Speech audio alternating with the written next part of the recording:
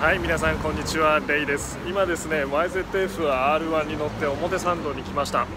後ろにですねアップルストアがあるの分かりますか？あそこでちょっとしたね細かいものを買いたくて今日はバイクで来たんですけど表参道ねこんな感じで二輪専用の枠がちゃんとあるんですよ。えーとで自分でチケット買って適当にこうやって貼っといたりすると、えー、取り締まられないというものなんですけどちょっとこの機械見てみましょうかね。はい二輪駐車区間こんな機械ですね、えーと利用方法トルロックして枠に入れなさい。枠入れました。まだ余ってますね。で枠の上に車が止めちゃってもちょっと悲しいですね。でお金入れるのが先ですね。えっとね60分100円。入れて自分のナンバー入れるとこんなのが出てきてでこの領書部分を剥がして残ったやつをバイクのどっかに貼っといてくださいっていうこんな仕組みのものですね。なかなか便利です。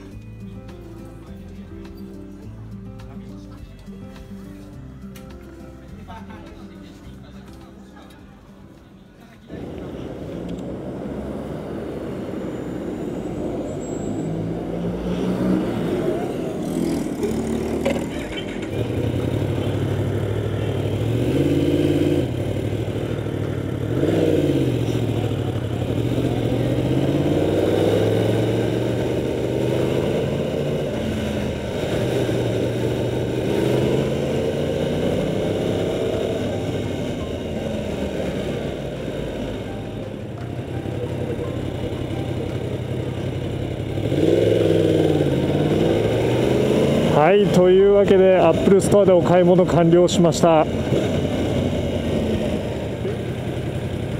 すげえまたベントレーの SUV だよ。さっき首都高降りるときにいたけど同じ車かな？違う車かな？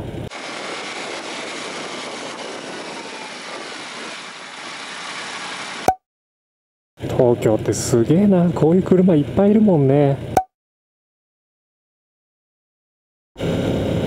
表参道店いいね。銀座の方が僕は最寄りなんだけど銀座店だと駐車場悩んじゃってさ車だったらなんかいっぱい枠あるんだけどバイクどこに止めようかなと悩んで銀座バイクで行く時いつも路中だなと思ってなんか路中今なんとなく嫌だなとビビってそれで表参道に来ました。表参道店目の前にですね二輪駐車場があんな感じになって素敵素敵。で僕が何で買い物を来てたかと言いますとですね注文してた iPhoneX が iPhone10 がやっとやっとですよ配送しますよっていうメールが来てやっと長かった。予約開始日にさ忙しくて忘れちゃっててでそれで暇になってから予約したらもうなんか全然遅くてしばらく時間かかっちゃいました。それで iPhone10 に使うカバーとかなんかちょっとしたアクセサリーみたいなものなんか欲しいなと思ってでそれで1回ちょっと見に行きたかったんですよね。でいざ見に行ったらやっぱりねケースなんかあのスマホとかでパソコンとかで調べてるときはあこれいいなと思ってたやつがなんか意外と見てみたら全然好みじゃなくてでノーマークだったやつが意外といいじゃんと思ってノーマークだったやつをね買っちゃったりしました。アップルストアの店員さんのフレンドリーな感じ恐ろしいね。大丈夫？なんか探してる？みたいな感じでさひょいってくるじゃん。あれ緊張するねあんなになんかフレンドリーな感じで来ると。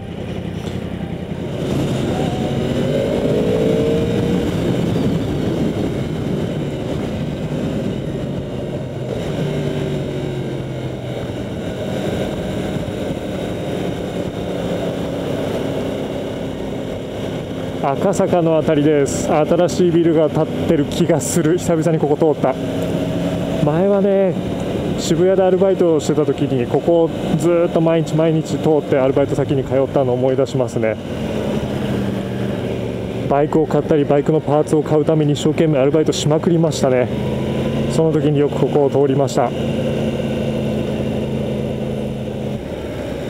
じゃあそんな具合でちょっとですねお散歩して帰ろうかなと思いますので、えー、引き続きまたレイブログぜひご覧になってください。チャンネル登録もぜひよろしくお願いいたします。